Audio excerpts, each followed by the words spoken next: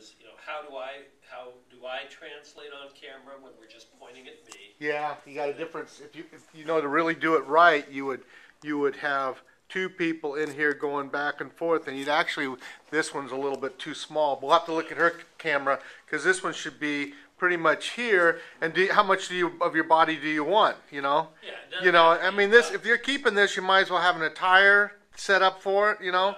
Um, And when, and then when I point at, you know, when it pans over to the Yeah. PowerPoint itself, yeah.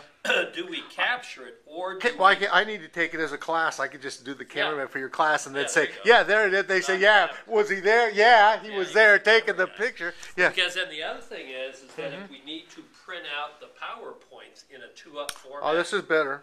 Okay. Except, See, we can add that light right well, there. no, it's not better because these. Uh, I think what's going to happen if you look at these. Uh, Yeah, they're going to pick those up. yeah, and it's going to back here. It's even wider. But I'll let you look at it Yeah. because this is HD. So you can't get, you won't see any more or less flaws than on this, or Well, just or highlights or things are better things. zoom Yeah. Capability, et cetera. So You need to do it like you're gonna have to have a live person. This would probably be if you know the best thing would be to I don't know if you bought one of those kits or something with the with the green behind it.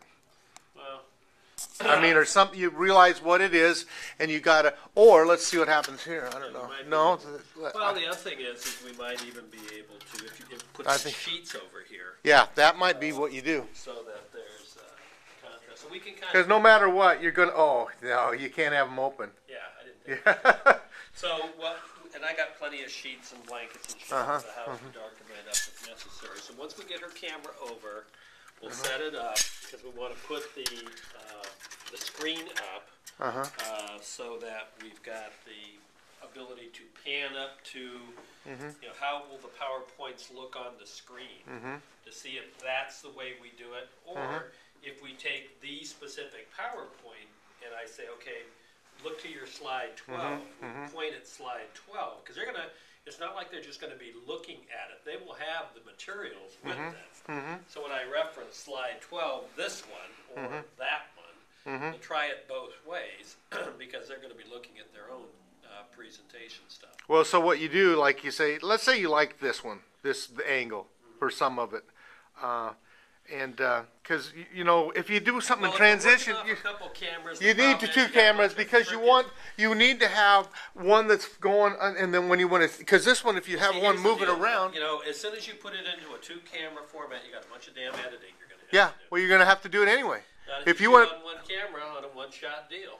You Uh, can't. not- I, am not looking Okay. for Okay, Hollywood okay, okay, I'm okay. looking for Okay, so it may be right here. It may be just one camera turned on right here, checked, pretty Oh, much. that moves between me because I've seen this on um on um, some of the uh, Channel Seven educational TV stuff, Hmm? where they'll just have it pointed right at the guy, and then they'll pan over to his PowerPoints over his shoulder. Mm-hmm.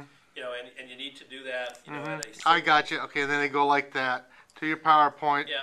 Or, And but what they- you, and you can hear him talking in the background because it may also mean that I need to get a pointer Uh-huh. to point out some of that stuff. I'm gonna tell you an easier, better way than even that is to have not sure you, a laser pointer would work. you could you could you got enough computers around here. You just have one of them with the with the feed going into.